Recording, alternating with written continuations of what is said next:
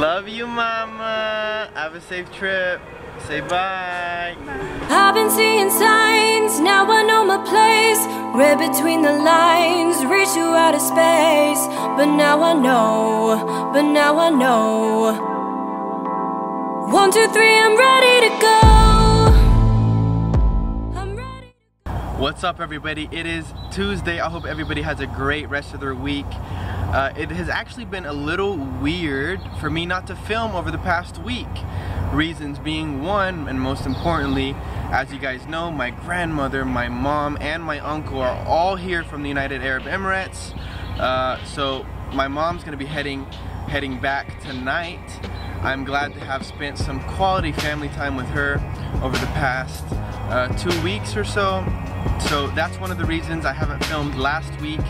You guys might thinking that's a little weird or so because uh, yesterday I just released episode 30 and that episode was actually from last Monday and that brings me to my second point being that over the past 30 episodes um, I have been putting out the episodes four to five days late from when they were filmed.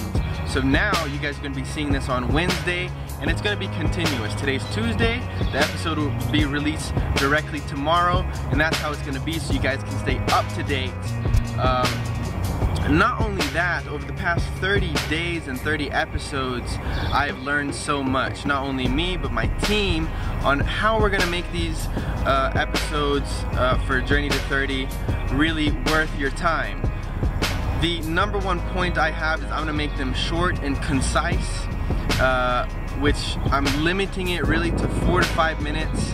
I would like to get it down to two to four minutes per episode and it just be jam-packed with value for you guys.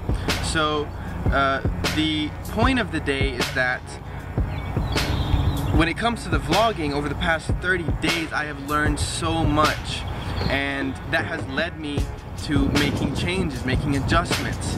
So in your business or in your life when you see things aren't necessarily the way you want them to be, you have got to adapt to the situation. You have got to change the circumstances. Not necessarily that you can change the circumstances, but you can change what you're doing to have a better output. And that's what the ultimate goal is. So uh, tonight I'll be heading to the airport uh, to take my mom back to, uh, she has a flight to Dubai tonight. For now, we're gonna enjoy a nice lunch with my brother who's right behind the camera and my mom uh, who's waiting to be seated.